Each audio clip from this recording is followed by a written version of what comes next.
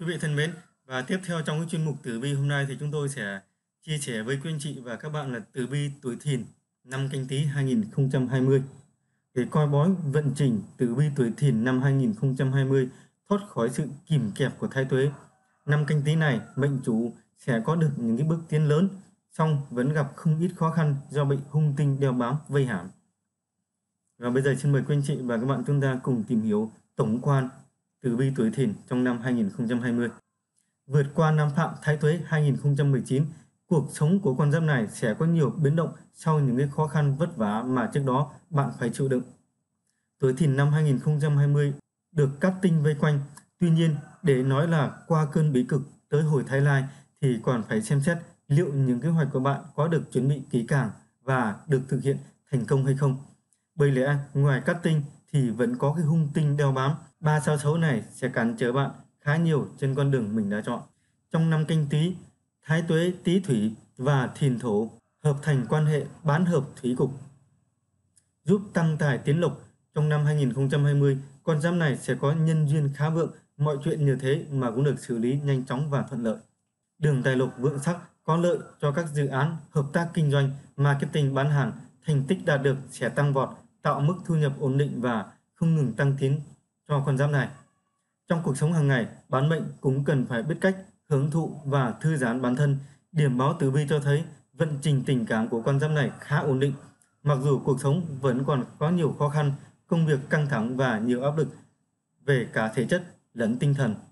Xét từ góc độ ngũ hành thì tuổi thìn thích hợp làm những cái ngành nghề liên quan đến ngũ hành kim và thủy sẽ giúp bán mệnh bộc lộ được hết cái tài năng của mình, dùng tài năng để đổi lấy tiền bạc về tay. Những chú rồng cũng đừng quên rằng trong năm vẫn có điểm báo xung sát. Cần phải lưu ý không nên đắc tội với người khác để vướng phải họa xấu thiệt thị phi. Để dễ vướng phải họa khấu thiệt thị phi, thậm chí kiện cáo ra vào tòa án cũng dễ bị phá tài hao lộc. Trong một số trường hợp đặc biệt, con giáp này có thể bị thương tích trên người nên phòng tránh tai họa bất ngờ do đổ kim loại hay vật sắc nhọn gây ra. Trong năm Thái Tuế là Tý Thủy nên lưu ý hạn chế đi đến những cái nơi nhiều nước như là ao hồ, sông suối cũng tránh tới những cái nơi ẩm ướt tối tăm sát khí nhiều mà dương khí cạn để không gặp cái chuyện chẳng lành. Và thứ hai là xin mời quý anh chị chúng ta cùng đến với tử vi sự nghiệp của người tuổi thìn trong năm 2020 này. Xem tử vi 2020 của người tuổi thìn về phương diện sự nghiệp, con giáp này có canh kim lộ xuất thực thần thú lợi về các cái dự án hợp tác làm ăn, kinh doanh buôn bán bán mệnh có thể dựa vào chính sức mình để làm những cái điều mà mình muốn, hoàn thành kế hoạch đề ra với cái thành tích xuất sắc. Bán mệnh dù làm ở vị trí nào cũng đều có thể giành được những cái thành công, nhất là những cái người làm trong cái lĩnh vực marketing thì cái khả năng thành công lại càng cao. Chẳng những thăng quan tiến chức mà còn có thể thêm thu nhập. Tuy nhiên, mặt trái của vấn đề là một số bạn sẽ thiếu đi cái sự lãnh đạo của, tuy nhiên mặt trái của vấn đề là một số bạn sẽ thiếu đi sự lãnh đạo của cấp trên mà phải tự mình lên kế hoạch cho mọi người, tự đốc thúc bản thân, giữ vững tinh thần, quyết tâm để hoàn thành nhiệm vụ. Mặc dù nhờ các tinh hỗ trợ nên mọi chuyện về cơ bản khá nhẹ nhàng và thuận lợi, nhưng vẫn đòi hỏi con giáp này phải kiên trì. Bạn sẽ nhận được mức đái ngộ tăng tiến, đồng thời cũng có thêm tiền lương thưởng cho nỗ lực của mình bán mệnh nên tiến hành đầu tư vào những lĩnh vực dự án liên quan đến hành thủy hay hành kim sẽ dễ thu lợi hơn. Các dự án về thủy lợi, thủy sản, ẩm thực, tài chính, hàng kim loại sẽ là những cái lĩnh vực mà bán mệnh nên tham khảo thêm. Thứ ba là về tử vi tài lộc của người tuổi thìn trong cái năm 2020 này. Năm canh tí 2020, canh kim lộ xuất thực thần, tý thủy họa thiên tài. Lại thêm cục diện tý thìn bán hợp cùng trợ lực nên đường tài lộc của tuổi thìn cực kỳ lý tưởng. Trong năm, con giáp này không cần phải lo lắng quá nhiều về vấn đề tiền bạc. Bạn có thể dựa vào chính sức mình, dùng trí thông minh và năng lực của bản thân để đổi lấy tài lộc về tay, cũng đạt được nhiều thành công mà có được cái sự tăng tiến trong lương thưởng và mức đãi ngộ. Khoảng thời gian này, tuổi thìn có thể tham gia các cái dự án hợp tác kinh doanh buôn bán sẽ dễ thu lợi về tay, nhất là những dự án có liên quan đến thủy lợi, thủy sản, đồ ăn uống ẩm thực đồ kim loại hay tài chính thì sẽ may mắn hơn nhiều, nguồn thu không ngừng lớn mạnh. Theo dõi tổng thể vận trình tứ vi tài lộc tuổi thìn năm 2020, những chú rồng sẽ có nhiều cơ hội để chuyển mình mạnh mẽ, tiền bạc ùn ùn đổ về nhà. Và vấn đề thứ tư đấy là tứ vi tình cảm của người tuổi thìn trong năm 2020. Thì xem vận trình tình duyên của người tuổi thìn trong năm này thì nam mệnh tuy đào hoa không nhiều nhưng bản thân lại có nhân duyên khác giới cực tốt. Bạn dễ dàng tự tìm được cơ hội để tiếp cận làm quen với người mình có cảm tình.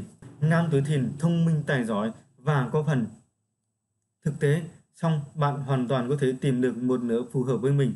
Đôi bên cũng bị hấp dẫn bởi đối phương tỷ lệ thành đôi khá cao. Song cần nhớ phải chủ động hơn trong chuyện tình cảm bởi nhân duyên này không phải là đào hoa vượng mà có chỉ là cơ hội mà nhân duyên đem lại thôi. Không nắm bắt thì cơ hội sẽ tan biến. Nữ mệnh tuổi thìn không có nhiều biến động trong chuyện tình cảm, mọi thứ bình bình, không có gì đặc biệt. Người có đôi vẫn giữ mối quan hệ ở mức bình ổn, còn người độc thân để bước chân vào một cái mối quan hệ mới. Thời điểm năm 2020 nhân duyên không tồi, bán mệnh hãy nhân cơ hội này để kết bạn làm quen với nhiều người hơn nữa, có thể bằng nhiều cách để tìm người phù hợp với mình. Đừng chỉ ngồi im một chỗ chờ tình yêu tới, bạn cần phải chủ động và tích cực hơn bởi cuộc sống là không chờ đợi, thanh xuân trôi qua trong trước mắt. Không thay đổi thì khó có thể tạo được bước đột phá trong chuyện tình cảm của mình. Thoát khỏi tác động của Thái Tuế năm 2019, tử vi tình duyên tuổi thìn năm 2020 sáng dần lên, song bạn cần phải chủ động nhiều hơn thì mới mong có được hạnh phúc. Và cái vấn đề thứ năm đấy là tử vi về sức khỏe của người tuổi thìn trong năm 2020. Vận trình sức khỏe của tuổi thìn trong năm 2020 khá tốt, không có nhiều vấn đề lớn và nghiêm trọng. Thái tuế trong năm là cát tinh, song vẫn có hung tinh đeo bám, nên khó tránh khỏi các thương tích nhỏ, nhưng không ảnh hưởng đến tổng thể sức khỏe của bản mệnh. Tuy nhiên, tuổi thìn nên nhớ tránh đi đến những nơi ẩm ướt tối tăm hay nhiều nước như sông hồ ao suối nơi âm khí vượng để tránh hậu họa về sau.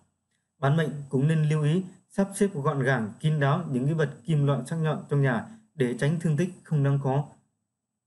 Cạnh bàn, cạnh tủ, nếu quá sắc bén thì nên tìm cách để khắc phục. Tuổi rồng nên hạn chế tham gia các hoạt động mạo hiểm hay hoạt động ngoài trời để giảm cái khả năng thương tích cho mình. Cũng nên lưu tâm hơn đến các cái vấn đề tiêu hóa, dễ mắc bệnh dạ dày hay đại tràng. Có thể bị cảm cúm hay mệt mỏi do thời tiết nên năng tập luyện thể dục thể thao, ăn uống, ngủ nghỉ khoa học để tăng sức đề kháng cho mình. Và cái vấn đề thứ sáu là xin mời quý anh chị và các bạn chúng ta cùng tìm hiểu cụ thể chi tiết từng tuổi thìn trong cái năm 2020 này.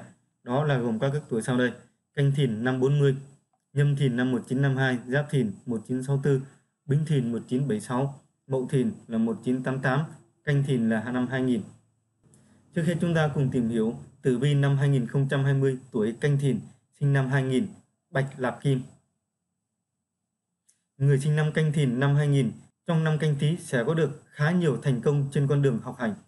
bản mệnh giành được thành tích không tồi, có tính cách vui vẻ, yêu đời nên được thầy yêu bạn mến.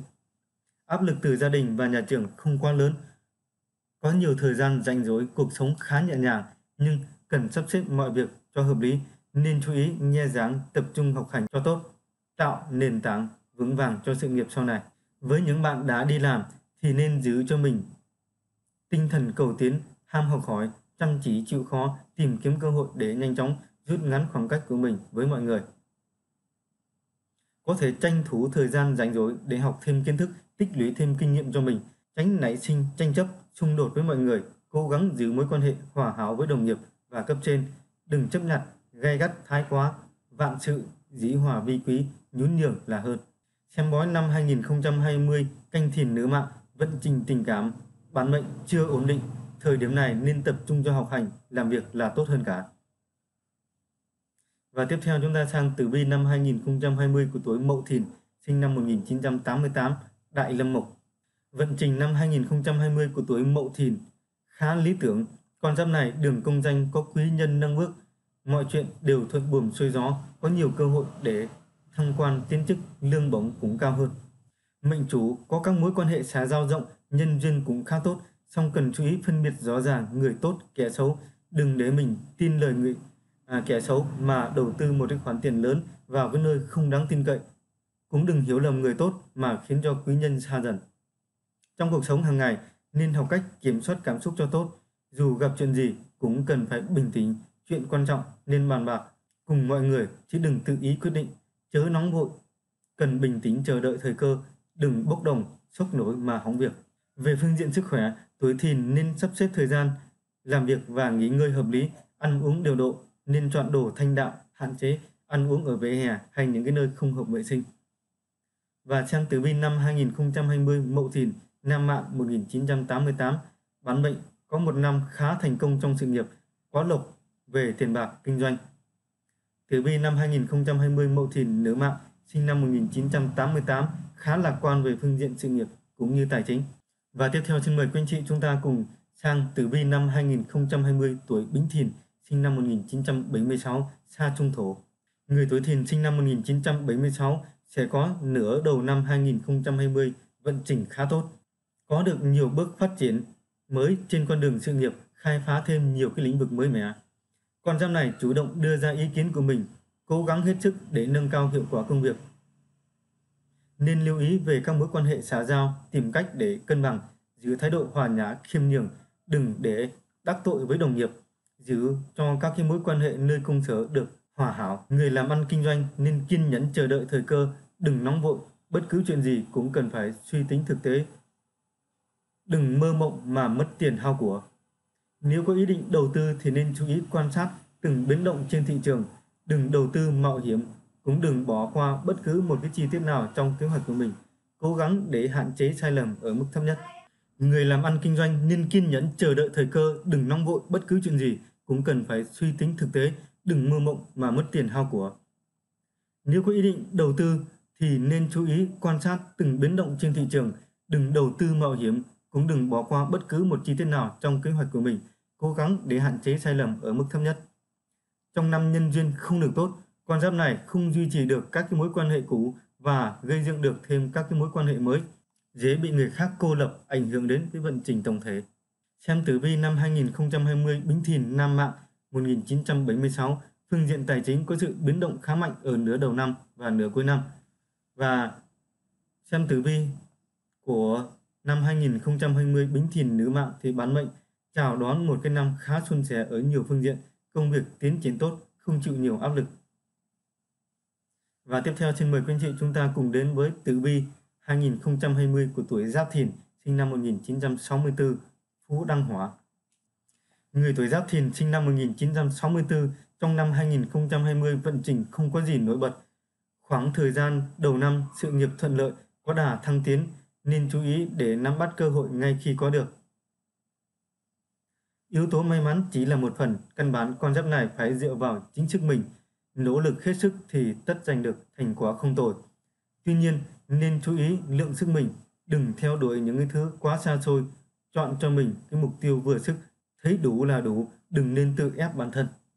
Khoảng cuối năm, vận trình dần xuống dốc, nếu có dự định đầu tư thì cần cực kỳ thận trọng, hạn chế đầu tư với quy mô lớn, khả năng mất tiền hao của rất cao, đã xác định đổ tiền đầu tư thì việc gì cũng phải tự mình làm, tìm hiểu thật kỹ trước khi quyết định, đừng thấy bước đầu xuân sẻ mà đắc ý, quên mất phải khiêm nhường. Về phương diện tình cảm, năm canh tí là lúc mà đôi bên cần dành cho nhau khoảng trời riêng, đừng can thiệp mọi điều trong cuộc sống của đối phương, thường xuyên chia sẻ tâm sự với nhau những cái điều mình còn mong mỏi, thổ lộ những cái bí mật vùi sâu. Mâu thuẫn nếu có nảy sinh thì nên giải quyết sớm, đừng để nó trở thành ung nhọt. Tử vi 2020, Gia Thìn, Nam Mạng, sinh năm 1964, có khá nhiều điểm sáng, đặc biệt là công việc thuận lợi, sự nghiệp khởi sắc, nhiều cơ hội thăng tiến. Còn đối với nữ mạng, bán mệnh đón một cái năm khá bình ổn, ít biến động. Nếu có biến động, đa phần đều theo cái hướng tích cực may mắn. Và bây giờ chúng ta cùng sang tử vi 2020 của tuổi Nhâm Thìn, sinh năm 1952, trường Lưu Thủy. Coi bói tử vi năm 2020, người tuổi Nhâm Thìn, thời trẻ sự nghiệp lấy lừng, có quyền có thế, về già vẫn giữ được danh tiếng cho mình. Nói chung, vận trình của người tuổi này luôn thuận buồm xuôi gió. Những năm tuổi già hướng chọn vinh hoa phú quý chẳng phải lo phiền, cuộc sống thanh nhàn vui vẻ. Thời gian rảnh lại cùng bạn bè tụ họp trò chuyện, bán mệnh có thể đăng ký tham gia các cái đoàn hội hay đi du lịch để tâm hồn thư thái, giải tỏa áp lực nếu có. Tuy nhiên, con giáp này nên nhớ cẩn thận đề phòng kẻ xấu không thừa. Đừng chủ quan nghĩ rằng mình đã đi qua gần hết đời người, biết hết mọi sự trên đời mà chủ quan dễ bị kẻ xấu lừa gạt. Đừng mạo hiểm tin vào việc đầu tư lãi suất cao, tốt nhất nên lựa chọn cách đầu tư ổn định, sử dụng tiền bạc hợp lý, tránh để tuổi già còn bị lừa mất tiền, dưỡng già. Bất cứ chuyện gì cũng nên thương lượng bàn bạc với người thân. Đừng cố chấp làm theo ý mình, cũng đừng ham làm quá mức mà hại tới sức khỏe. Theo thời gian, tuổi tác gia tăng không nên ăn đồ sống, đồ lạnh hay đồ cay nóng, hạn chế hút thuốc, uống rượu, tăng cường tập luyện thể dục thể thao để giữ cho sức khỏe được tốt hơn. Ừ, tiếp theo xin mời quý anh chị chúng ta cùng đến với tử vi 2020 của tuổi Canh Thìn, sinh năm 1940, Bạch Lạp Kim. Người tuổi Thìn sinh năm 1940, vận trình có nhiều bước tiến triển, tuy nhiên thì do cái năm vừa rồi chịu tác động của xung thái tuế nên sức khỏe bị ảnh hưởng nhiều. Một số người vẫn còn bệnh tật trong người xong bán mệnh cũng không cần lo lắng quá mức bởi bệnh tình sẽ có biến chuyển tốt. Tuy nhiên đừng mong có thể khỏi được hoàn toàn. Dù sao tuổi cũng đã cao, sức đề kháng không còn tốt như thời thanh niên, không tới mức đau ốm liên miên đã là điều may mắn. Một số người sức khỏe trước giờ luôn rất tốt thì trong năm cũng đừng chủ quan hung tinh ngũ quý nhập mệnh có thể gây ra những cái tai họa bất ngờ đi đâu làm gì cũng cần phải lưu ý đề phòng và bây giờ sang cái vấn đề thứ bảy là xin mời quý anh chị chúng ta cùng uh, theo dõi tử vi tổng quan hàng tháng của người tuổi thìn trong năm 2020 chi tiết đầy đủ nhất. Trước hết là chúng ta đến với tử vi tháng 1 năm 2020 âm lịch của người tuổi thìn. Trong tháng đầu tiên của năm canh tí, người tuổi thìn mọi mặt đều thuận lợi, vận khí cực vượng là khởi đầu tốt trong năm mới. Về phương diện công việc, con giáp này được bạn bè, đồng nghiệp giúp đỡ rất nhiều, mọi nhiệm vụ được giao đều hoàn thành xuất sắc, vượt mức mong đợi. Tài lộc tăng tiến, dù là chính tài hay thứ tài, đều vô cùng lý tưởng, có nhiều cơ hội đón tài lộc bất ngờ về tay, không có nỗi lo về tài chính. Đường tình duyên cũng được như ý, bán mệnh có thể thu hút sự chú ý của người khác phái bằng sức hấp dẫn của riêng mình. Đối phương là người có điều kiện không tồi, nếu cảm thấy hợp ý thì nên lựa thời cơ bày tỏ tình cảm, cơ hội đến thì hãy nắm bắt nhanh chóng thoát khỏi cảnh độc thân. Bước sang tháng 2 âm lịch thì theo tử vi, tháng 2 âm lịch năm 2020 này thì tuổi thìn dễ đau khổ vì tình. Vận trình tình duyên xa suốt, người đang yêu thường bị bận bịu với công việc mà thiếu quan tâm chăm sóc cho nửa kia của mình, tạo cơ hội cho kẻ thứ ba xuất hiện. Với sự chen chân của kẻ thứ ba, tình cảm đôi bên sẽ nảy sinh nhiều dạn nứt, những mâu thuẫn nghỉ ngơi phát sinh liên tục nếu không giải quyết ổn thỏa thì sẽ nhanh chóng khiến cho tình cảm tan vỡ phôi phai. Song sức khỏe của những chú rồng trong thời gian này lại khá tốt, bán mệnh không dễ bị bệnh tật đe dọa. Có điều cần lưu ý chuyện ăn uống, nên hạn chế ăn uống đồ cay nóng, đồ ăn có tính kích thích cao như hành, tỏi để tránh ảnh hưởng đến cái chất lượng giấc ngủ, hạn chế uống rượu, hút thuốc. Và tiếp theo chúng ta cùng sang tử vi tháng 3 âm lịch của người tuổi thìn. Và ở trong cái tháng 3 này thì người tuổi thìn sự nghiệp vẫn trên đà tăng tiến tốt. Tuy nhiên vận trình tài lộc lại không có gì nổi bật. Xét về phương diện sự nghiệp, con giáp này được cấp trên ưu ái trọng dụng, có thể được phái đi bồi dưỡng ở nơi khác, cũng có thể đi công tác khảo sát dài ngày. Cần nắm bắt cơ hội hiếm có này để nâng cao năng lực của mình trên mọi phương diện. Về tài vận, bán mệnh tuy không xui xẻo, gặp họa mất tiền nhưng rất có thể hao tài tốn của vì thói quen mua sắm của mình. Bán mệnh dễ siêu lòng trước những cái món đồ xa xỉ, đổ cả đống tiền vào những thứ không thực sự cần thiết. Nên kiểm soát bản thân tốt hơn, đừng tự khiến mình mang thêm áp lực về kinh tế, gánh thêm đống nợ trên vai. Và bước sang tháng 4 âm lịch, đường tình duyên và tài lộc của tuổi thìn trong tháng 4 sẽ có những cái chuyển biến theo hướng tích cực, nhất là về thứ tài. Thời điểm cuối tháng, vận trình sẽ thịnh vượng vô cùng, chính bản mệnh cũng không thể ngờ tới. Dù là người độc thân hay đã có đôi thì trong tháng này tuổi thìn cũng sẽ có được hạnh phúc của riêng mình, đào hoa vượng, bản mệnh thường xuyên nhận được sự chú ý của những người khác phái. Người độc thân đứng trước nhiều cái sự lựa chọn cần phải tỉnh táo để tìm người thực sự phù hợp với mình. Với những bạn đã có đôi, cần giữ khoảng cách với những người khác phái xung quanh mình. Đừng dễ dàng dao động. Đường tài lộc tháng 4 âm khá lý tưởng do được thần tài che chở, chuyện làm ăn kinh doanh thuận lợi các đơn hàng tới tấp bay về, lợi nhuận tăng lên gấp bộ. Và bước sang tháng 5 âm lịch thì những chú rồng sẽ phải đối mặt với những biến động khá lớn trên con đường sự nghiệp. Xét tổng thể thì vận trình đang dần đi xuống, áp lực gia tăng, sức khỏe cũng không được tốt lắm. Tuổi thìn không thể chỉ dựa vào sức của riêng mình để hoàn thành công việc mà à, thường cần đến sự giúp đỡ, hỗ trợ của mọi người. Tuy nhiên, điều này sẽ gia tăng không ít áp lực và ảnh hưởng đến cái thành quả lao động, có thể gây ra tổn thất nhất định đối với công ty. Bán mệnh nên bình tĩnh, đừng hoang mang, hoang loạn, cần tìm cách để nâng cao năng suất lao động, bồi dưỡng thêm kiến thức và năng lực làm việc của mình, đừng để bản thân trở thành gánh nặng của tập thể. Và về cái phương diện sức khỏe thì tuổi thìn thường gặp phải những cái tai nạn bất ngờ, tuy nhỏ thôi nhưng cũng có thể bị va vấp, xước sát, chảy máu. Cần chú tâm hơn khi làm bất cứ việc gì, tự bảo, tự bảo vệ bản thân khi có sự cố xảy ra. Tháng 6 âm năm 2020 là lúc mà đường tình duyên của tuổi thìn bắt đầu có những cái chuyển biến tích cực hơn. Tuy không quá lớn nhưng so với cái khoảng thời gian trước đó thì cái khả năng tìm thấy hạnh phúc của con giáp này đã cao hơn nhiều. Nếu bạn thầm thương trộm nhớ người ấy đã lâu thì đừng che giấu tình cảm của mình mãi nữa. Hãy dũng cảm bộc bạch tình cảm của mình, chọn cái thời điểm thích hợp, không gian thích hợp để tỏ tình. Tỷ lệ thành công trong tháng 6 âm lịch này khá cao. Có điều, sức khỏe của tuổi thìn vẫn chưa được tốt lắm. Bán mệnh cần phải tăng cường tập luyện thể dục thể thao, ăn uống đủ chất, ngủ nghỉ đúng giờ để tăng sức đề kháng cho mình. Các bạn nhỏ muốn học bơi thì cần có người lớn giám sát tốt nhất là người có khả năng bơi lội tốt. Tuyệt đối không được bơi một mình ở những chỗ hoang vu, thậm chí là có bạn bè cùng cũng không nên, tránh xảy ra cái sự cố đuối nước đáng tiếc. Bước sang tháng 7 âm lịch năm 2020 thì sự nghiệp của người tuổi thìn bắt đầu khởi sắc. Về cơ bản, không gặp phải rắc rối gì quá lớn. Vận trình tài lộc thì không được tốt đẹp như thế. Mọi thứ đi xuống theo chiều hướng xấu. Xét về phương diện sự nghiệp, tuổi thìn kiên trì với mục tiêu mình đã chọn, quyết tâm thực hiện điều mình đã bắt đầu. Mỗi một nhiệm vụ được giao, bạn đều hoàn thành xuất sắc, không xảy ra sai sót gì đáng kể. Song đường tài lộc có phần ám đạm, phần nhiều là do con giáp này đang chi tiêu quá nhiều. À, thu chẳng đủ bù chi, bản mệnh tiêu tốn khá nhiều tiền bạc vào chuyện ăn uống, vui chơi giải trí.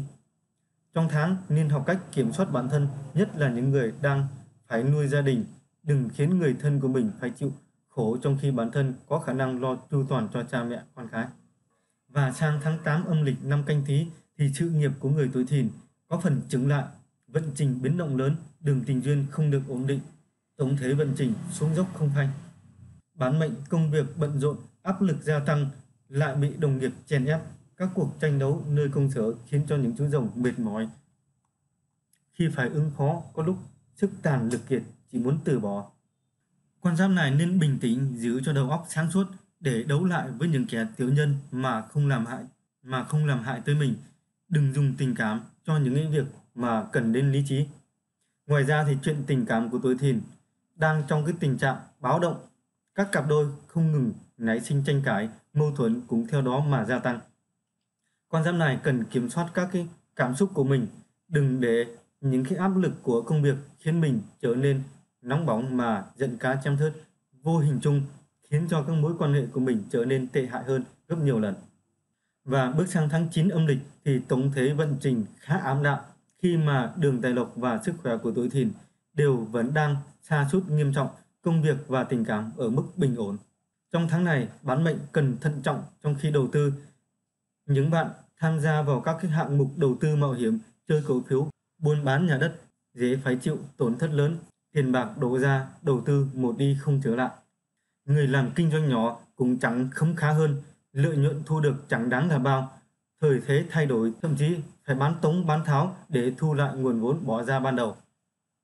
Về phương diện sức khỏe, những bạn làm công sở hay phải ngồi lâu ở một chỗ có nguy cơ mắc bệnh về mắt và cuộc sống. Cần lưu ý thường xuyên thay đổi tư thế, thi thoảng đứng dậy đi lại, giúp mắt đỡ căng thẳng, cột sống cũng không phải chịu cái sức ép từ một tư thế quá lâu, tránh các cái bệnh thoái hóa đốt sống cổ, đốt sống lưng. Và bước sang tháng 10 âm lịch là lúc mà công việc và tình cảm của tuổi thìn đều gặp phải không ít khó khăn, vận trình của hai phương diện này đều không được lý tưởng. Trong công việc, bán mệnh cần ý thức được những cái thiếu sót của bản thân mình. Bạn biết được nhược điểm của mình nằm ở đâu, nhưng lại chưa tìm được cách để nâng cao cái năng lực bù đắp cho những cái thiếu sót đó. Con giáp này cũng đang loay hoay trong việc xử lý các mối quan hệ xã giao. Bạn chưa nắm được bí quyết để hòa hợp với mọi người, thường vô tình đắc tội với người khác gây cho đối phương những tổn thương tinh thần. Trong chuyện tình cảm, con giáp này thấy hoang mang chưa xác định được đây có đúng là điều mình mong muốn hay không. Tình cảm đôi bên khi gần, khi xa, khi nồng nhiệt, khi lại lạnh nhạt. Người độc thân cũng gặp phải tình trạng này khi mà theo đuổi người trong mộng. Bạn sẽ phải đau đầu và tốn nhiều thời gian công sức để giành được trái tim của người ấy. Và bây giờ chúng ta cùng tìm hiểu sang tử vi tháng 11 âm lịch của người tuổi thìn. Thì xem tử vi trong tháng 11 này, người tuổi thìn cần đặc biệt cẩn trọng cả trong công việc và cuộc sống hàng ngày. Vận trình công danh sự nghiệp vẫn đang lao dốc, trong khi đường tình duyên, tài lộc và sức khỏe đã có những cái chuyển biến tích cực. Công việc của con giáp này thường xuyên gặp phải cản trở hay sự cố chẳng thể chống đỡ được. Ví dụ như bị đồng nghiệp đùn đẩy, đổ trách nhiệm, bị khách hàng cố tìm cách gây khó dễ, bị cấp trên chèn ép, chẳng phân biệt phải trái đúng sai. Trong trường hợp này, những chú rồng cần phải giữ cho mình sự bình tĩnh và sáng suốt để không mắc sai lầm. Người ta đã người ta đã sai, mình còn sai hơn. Hãy sống khiêm nhường, làm gì cũng lắng lặng mà làm, đừng khoe khoang phô trương anh thế mà à, khiến tiểu nhân ngứa mắt. Bạn cũng đừng quá khắt khe tính toán quá mức. Người khác làm điều xấu thì cố gắng bỏ qua, nếu không sẽ chỉ gây hại cho chính bản thân mình, tự mình thấy mệt mỏi và khó chịu. Khoan dung độ lượng với người chính là tạo phúc cho bản thân mình. Và sang tháng 12 âm lịch thì tử vi tháng chạp năm canh tí của người tuổi thìn khá tốt. Cả tình yêu, sự nghiệp, tài lộc và sức khỏe đều có những bước tiến triển đáng chúc mừng. Là có thể nói đây là cái tháng thu hoạch của những chú rồng. Xét về phương diện công danh sự nghiệp, con giáp này sau bao nhiêu ngày tháng vất vả, cực khổ cũng đã hái được trái ngọt. Bản mệnh có cơ hội được cấp trên yêu ái, cất nhắc lên vị trí cao hơn, trao cho nhiều trọng trách, lương thưởng, đãi ngộ cũng theo đó mà tăng lên. Về phương diện tình cảm, tuổi thìn trong tháng cuối cùng của năm canh tí sẽ đón tin vui. Những bạn yêu nhau đã lâu sẽ tính tới chuyện về chung một nhà, cùng nhau gây dựng hạnh phúc gia đình nhỏ. Người độc thân tháng này, đào hoa vận không tồi, có hy vọng tìm thấy một nửa kia của mình, tình cảm phát triển khá nhanh, bán mệnh có thể sớm nghĩ tới cái chuyện trăm năm hạnh phúc. Và sau đây xin mời quý anh chị chúng ta sang cái, cái phần thứ 8, đây là cách hóa giải theo phong thủy phi tinh năm 2020.